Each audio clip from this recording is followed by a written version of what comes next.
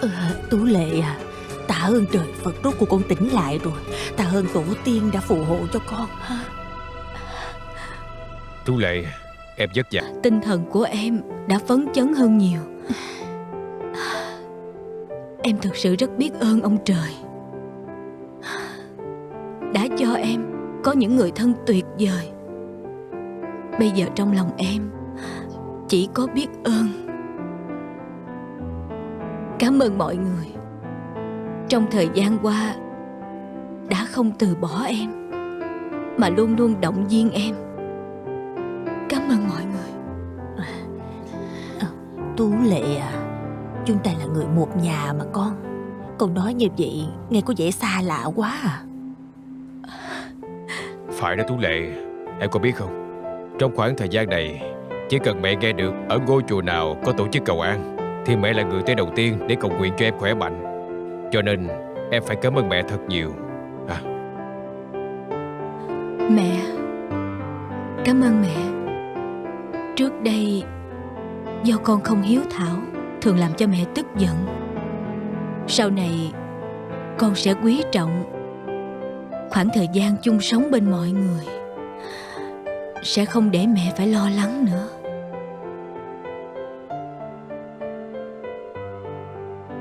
Mẹ. Mẹ. Hiểu Đình.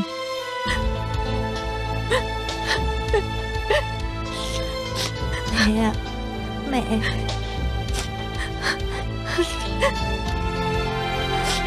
Cùng thì mẹ cũng tỉnh rồi.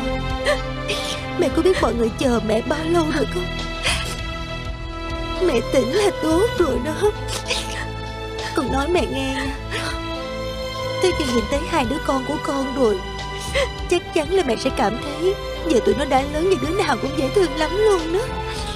Tiếc là lúc mà hai đứa nó mọc răng Và lúc tụi nó tập đi mẹ không được nhìn thấy. Nhưng mà không sao Chờ tới khi mẹ xuất viện về nhà Tiểu công chúa và tiểu hoàng tử Chắc chắn sẽ bám bà như Sam luôn. Ờ Chắc chắn là vậy. Mẹ sẽ vui nhìn cháu ngoại của mẹ khôn lớn Ờ tới phi tôi nói. Trương Tú Lệ, Cô thật là quá đáng quá mà. Hôn mê một thời gian dài, Bây giờ mới chịu tỉnh trở lại. Cô có biết là tôi cô đơn tới mức nào hay không? Nhưng có điều, Cô cũng thật là kỳ lạ, Tại sao càng ngủ lâu cô lại càng đẹp? Đúng là một kỳ tích đó. Tôi tin là nó có thể sẽ được lên truyền hình. À, à khoan đã, Để cho tôi khoe một chút, Nói cho cô nghe. Bạch Tuyết nhà mình thành ngôi sao rồi, Suýt chút nữa đã cho ra đĩa đó. À, không phải đâu mẹ. Thật ra là có người muốn phát hành nội Mà nội lập con mắc cỡ. Dung dĩ triết rồi. Chuyện này thì mẹ ngại nói ra dữ lắm. Bạch Tuyết à Con tự nói cho thím con nghe đi nha. Bà nội Bà nội lập con mắc cỡ quá à. Thím à Thím hãy tỉnh lại nha.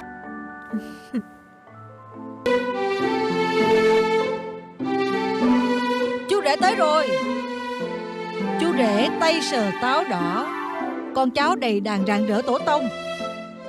Chú rể tay sờ quả quýt Đầu năm cuối năm đều quý. Chú rể mặt hồng hào Giàu sang phú quý suốt cả đời.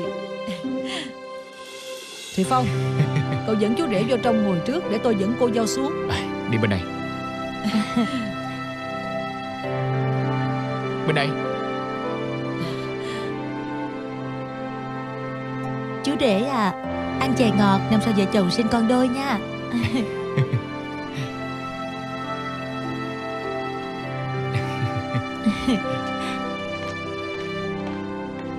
Thưa dì, thưa chú Cảm ơn dì chú đồng ý cho cuộc hôn nhân này diễn ra.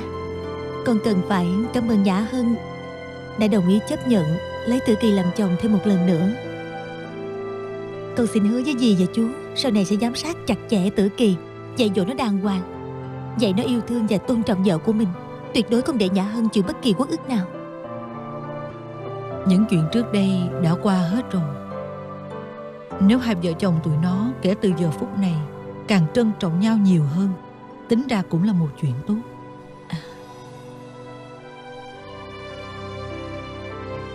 Cô dâu đi thông dong, tiền tài hạnh phúc luôn đông đầy. Cô dâu bước vào phòng, con cháu hai nhà tiếng thơm gian gần xa.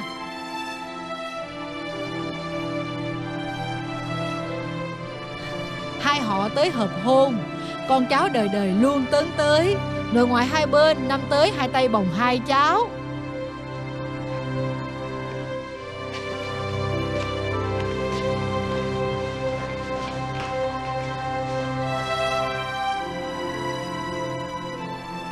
Nguyện vọng lớn nhất trong cuộc đời này của em chính là được làm người chủ hôn, tham dự hôn lễ của con gái ruột mình.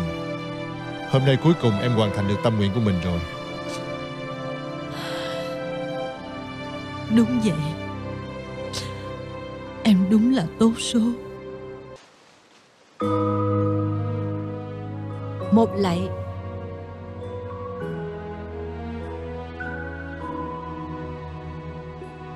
Hai lạy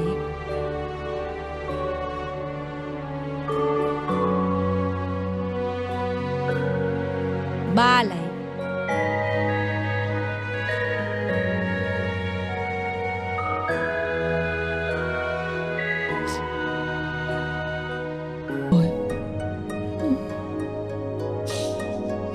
Hãy nhớ, đây là nhà mẹ của con.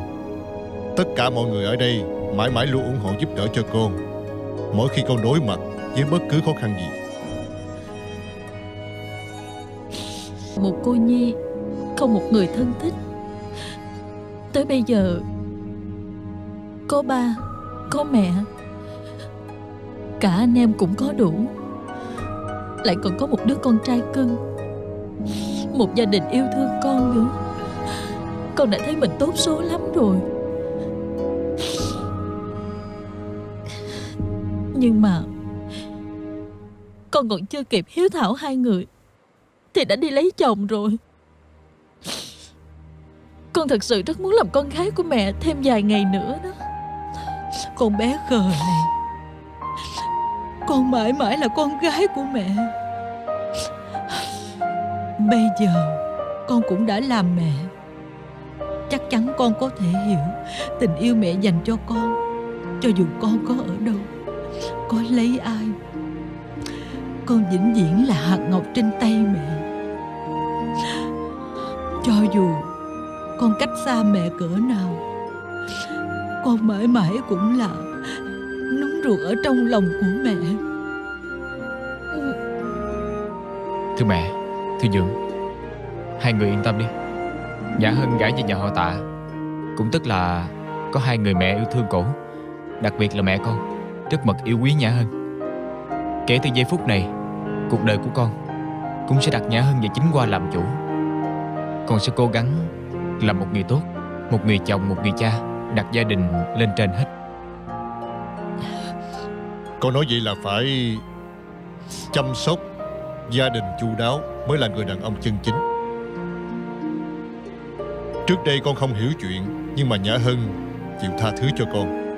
Cho nên hai đứa mới có thể gương dở lại lành.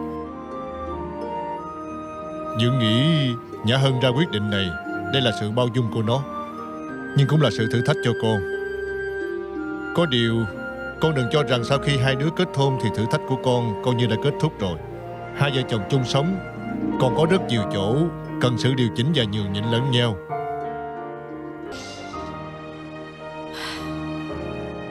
Giả lại.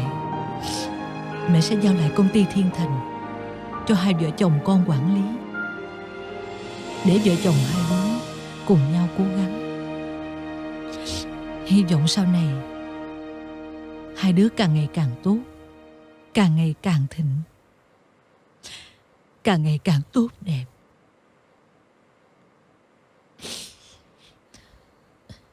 Mẹ con không phải ham thật giàu có, Sống sung sướng an nhàn đâu. Có bao nhiêu người yêu con, Bao nhiêu người thương con, Đây mới là tài sản lớn nhất của con. Sau này con với Tử Kỳ Sẽ càng cố gắng Để cuộc đời của tụi con Ngày nào cũng thật viên mãn. Xin mẹ yên tâm.